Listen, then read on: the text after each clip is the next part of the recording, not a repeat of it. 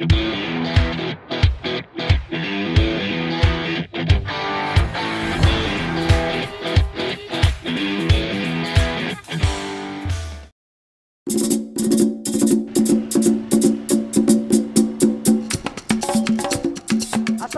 warahmatullahi wabarakatuh. Jumpa lagi pemirsa para pecinta seni. Dalam akhir pekan ini saya akan menemani Anda selama kurang lebih 30 menit ke depan untuk menambah wawasan dan inspirasi melalui kegiatan kesenian, eksplorasi kesenian atau proses kreatif seni dari para pelaku seni yang ada di kota tercinta kita Pekalongan ini.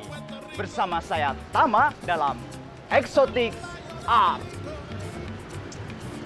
Nah, suka, duka, sedih, ceria, cemas, terangkum dalam seni sastra melalui pemilihan kata, rangkaian kalimat, dan bunyi-bunyi yang dilantunkan.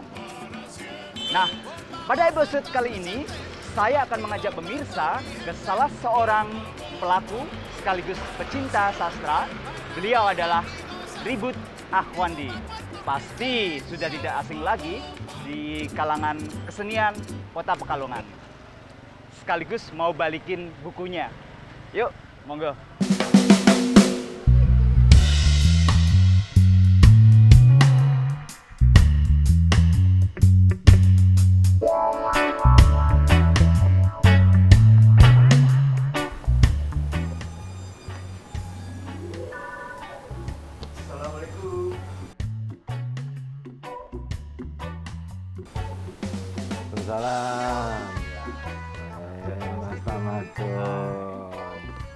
Pemirsa, eh, kita sedang ketemu dengan Mas Ribut Ahwandi yang seperti saya katakan, ah, nih dari megang bukunya aja kayaknya beliau ini suka banget nih dengan ah, hal-hal baca membaca nih. Iya Mas Tamadon. Ah, ini sedang baca apa nih ngomong-ngomong? Ini apa ya buku sastra Indonesia, eh, sejarah sastra Indonesia. Ayo mlebu sik, Oh, mlebu sik, mlebu iya, sik, iya. mlebu sik. Oh ini saya mau Oh. balikin bukunya. Oh ngono ya ya ya ya. ya. Wis mlebu sik, mlebu sik, mlebu sik, siap, masuk masuk dulu, masuk dulu. Wah. Wah, ya. Ya. Wah Mas Tamadon. Ya. Aduh. Ini di rumahnya Mas Ribut banyak sekali buku-buku ya. Nggak tahu ini sudah baca semua atau belum. Saya kira semuanya sudah kejamah ya, sehingga mereka harus istirahat ya, nunggu suatu saat dibuka-buka lagi. Hmm. Oke, Mas Ribut, Ya. ini kegiatannya apa ini sehari-hari? Ya kegiatan untuk sehari-hari seperti rutina eh, rutinitas saya setiap hari ya paling ngajar di Unikal gitu. Di Unikal. Mm-mm. Wah, dosen. juga ya di, kadang-kala distain juga. Terus di sini di depan rumah ada plang ini, Ah. rumah Sinau Sogan ya. Ah kalau di sini perpustakaannya, Oh, perpustakaan. ah, perpustakaan masyarakat Sogan. Nah kalau yang Oma Sinau Sogan itu di Kuripan. Oh, Nah, bisa di- diceritakan sekelumit tentang rumah Sinau itu. Jadi Oma Sinau Sogan itu awalnya semacam komunitas teater yang dulunya hidup di kampus itu di Unikal. Terus kemudian eh, seiring perkembangan waktu ternyata teman-teman yang ada di dalam teater Sogan itu berpikir wah kita butuh hidup mandiri biar tidak tergantung sama eh, kampus maka kemudian eh, mereka kami sepakat untuk bisa keluar dari kampus. Iya. Nah awalnya kami nggak punya markas. Hmm. Nah kebetulan eh, waktu itu saya baru beli rumah eh, dan rumah itu eh, bingung mau saya apakan. Ya sudah jad- jadikan markas saja sudah selesai. Sinau, ya. Ah. Sastra itu sendiri apa sih Mas sebetulnya? Sastra, kalau sastra itu pemahaman yang lebih luas. Eh, kalau kita melihat dari terminologi bahasa Sanskerta, maka sastra itu artinya adalah sesuatu yang bisa dijadikan sebagai pedoman, ajaran. Hmm. Jadi tidak melulu hanya sebatas karya tulis, Oh, begitu. Mm-mm. tetapi kemudian pembatasan sastra menjadi hanya sebatas di wilayah tulisan itu baru masuk eh, di terminologi Barat. Hmm. Jadi kalau Barat itu sastra, mereka tidak kenal yang namanya istilah sastra, yang mereka kenal kan istilahnya litera. Litera. Nah, litera itu huruf, tulisan. Nah, tulisan itulah yang kemudian uh, menjadi tolak ukur bahwa karya sastra itu harus tertulis. Kalau Iya. tidak tertulis, maka tidak disebut sebagai sastra. Nah, sementara di kita ini kan kalau bicara soal sastra, tidak melulu yang tertulis, ada sastra lisan. Mm-mm. Yang itu bentuknya dongeng, kemudian tu, eh, ya tutur tinular lah, jadi itu. Tinular. Nah, ah. mengingatkan seni silat. Tapi mungkin uh, apakah karena zaman dulu belum ada alat rekam atau apa sehingga kita Mm-mm. untuk merekam keadaan peristiwa itu sehingga butuh suatu media untuk merekam itu berupa lambang-lambang semacam huruf Hmm, hmm. sehingga mungkin dituangkan seperti itu.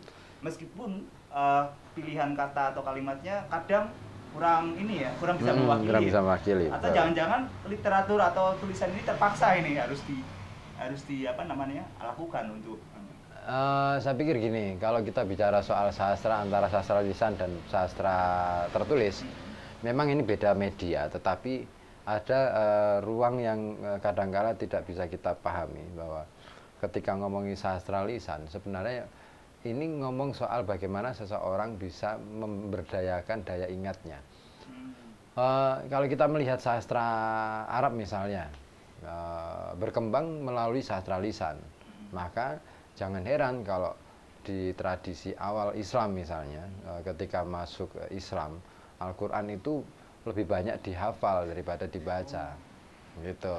Bahkan Al-Qur'an itu mahasastra ya. Betul, makanya ya. metode-metode semacam itu yang kemudian uh, menjadi tolak ukur tes seseorang untuk bisa Ah. dianggap sebagai seorang penyair di Arab. Hafalan itu menjadi uh, apa ya tradisi yang paling kuat di sana. Baru kemudian uh, munculnya musaf itu, uh, ide untuk mengumpulkan uh, apa ini serpihan-serpihan itu kemudian dikumpulkan jadi tulisan itu kan satu sisi is- bisa dianggap sebagai kemajuan perkembangan peradaban, tetapi di sisi lain bisa jadi itu penumpulan terhadap daya ingat. Hmm, kebalikannya. Justru ya. Nah, Oh. ini ini menarik. Soalnya ibaratnya jaga ke. Betul. Ya, jaga ke. Iya, kita akhirnya bergantung pada media, alat gitu kan. Eh, bukan pada potensi akal manusia yang bisa mengha- eh, menghafal, juga bisa menganalisis dan macam-macam. Di situ sebenarnya eh, polemik waktu mulai munculnya musaf penulisan Quran pun eh, muncul polemik yang semacam itu. Ternyata definisinya tidak cukup ya. cukup satu baris dua baris ya. Ya. Tapi dulunya awal suka sastra kapan ini Mas? Waduh. Eh, eh, Sudah dari sananya. Eh, enggak sih. I- ini barangkali eh, saya bisa mengatakan kalau secara akademis barangkali adalah itu adalah kecelakaan sejarah. Iya. Jadi dulu waktu habis eh, SMA itu saya kan eh, lulus 99 itu eh, sempat kepikiran pingin nerusin kuliah itu di ilmu komunikasi awalnya. Tapi kemudian eh, ternyata ikut tes nggak lulus. Alhamdulillahnya nggak lulus. Yang penuh hikmah Nah, ya. begitu nggak lulus, akhirnya banting setir. Ya sudah, saya masuk sastra Indonesia aja itu. Ya itu eh, alasan kenapa masuk sastra Indonesia waktu itu karena hanya mengingat masa lalu yang eh, waktu itu pernah berproduk apa berproses di teater. Mm-mm. Itu pun baru eh, masih nggak begitu kenal teater itu Iya, apa, iya. hanya sebatas peng- apa ya penggembira gitulah iya, iya. Berarti awalnya nggak nggak ngerti. Nggak ngeh banget Nah, gitu ya. Tapi ternyata setelah tak pelajari betul-betul, saya mencoba untuk mengingat masa lalu. Ketika eh, oh iya ya, ternyata saya sejak kelas 2 SD itu sudah suka nulis puisi. Oh iya iya. Sampai sekarang ada be- beberapa buku catatan saya masih masih tak simpen itu. Itu isinya puisi-puisi. Ya puisi-puisi anak-anak. Iya, iya. Cuman se- sekarang sudah nggak kebaca. Iki piye bingung Iya. aku. Artinya paling tidak dari Mas Ribut ini kan membuktikan bahwa Hmm. Uh, seni itu uh, seni sastra bisa Hmm, dipelajari hmm, dan hmm. ketika kita terbuka ternyata kita sudah melakukan itu sejak kecil ya. Ya, Ya seperti ya. itu mungkin ya. Iya, iya, iya. eh, saya ti- tidak mengatakan bahwa itu adalah bakat bukan sih sebenarnya, tetapi lebih pada eh, aspek pendekatan eh, di- pola didikan orang tua itu sangat mempengaruhi. Kebetulan orang tua saya, sekalipun bukan sastrawan, hanya seorang pedagang biasa gitu, tapi eh, beliau sangat menyukai, meminati eh, dunia sastra. Bahkan beliau yang mengajarkan saya untuk eh, waktu itu nyanyi, mengenalkan musik keroncong, mengenalkan musik baru mengenalkan. Terus beliau juga sempat cerita waktu SD dulu meskipun nggak lulus itu hobi yang paling beliau sukai itu yaitu baca puisi. Tapi nggak pernah nggak ada lomba mungkin ya zaman dulu ya. Jadi nggak pernah ada juara itu. Iya, ekspresinya lebih murni dong kalau Iya, iya. ya. Oke, ah dari sekian lama itu setelah dirasakan apa sih sebetulnya fungsi seni sastra khususnya menurut Mas Riko sendiri? Banyak, banyak. Iya. Selain apa ya? Selain untuk bisa membentuk karakter, ini juga bisa ngomongin soal bagaimana orang bisa punya penguasaan terhadap pengetahuan di luar. Karena ngomong sastra sebenarnya tidak hanya ngomongi bagaimana kalimat disusun, bagaimana cara membaca puisi yang baik, bagaimana eh, menulis cerpen yang baik, bukan bukan itu, tetapi yang dilakukan eh, ketika kita memahami sastra, mendalami sastra itu sebenarnya kita sedang mencoba memahami dan menghayati kehidupan secara menyeluruh.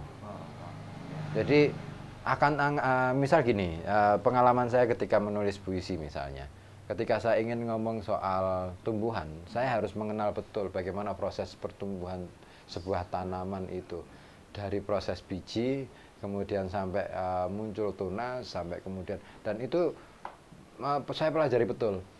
Jadi saya akhirnya belajar biologi secara tidak Iya, langsung. riset ya, Heeh. tulis ya. Jadi asiknya gitu. Ketika saya eh, waktu itu lagi suka nanam, sekarang tanamannya udah eh, hilang semua. Gak habis kecelakaan itu nggak nggak nggak pernah nanam lagi. Nah itu setiap hari saya coba cermati setiap biji yang yang tak deder itu kan. Nah, kemudian tumbuhnya seperti apa, seperti apa. Dan itu asik. Sampai akhirnya saya bisa menemukan oh ini toh yang namanya eh, sebuah doanya se- apa sebutir biji. Hmm, iya, itu loh. iya. Itu luar biasa. Ketika kita bisa memahami itu, wow, Wow. asik. Pemirsa, ternyata luar biasa ya setelah kita menengok isinya sebuah sastra, ini benar-benar exotic art ya untuk Anda para pecinta seni. Nanti kita akan tahu bagaimana sih proses-prosesnya. Nah, jangan ke mana-mana, tetap di exotic art.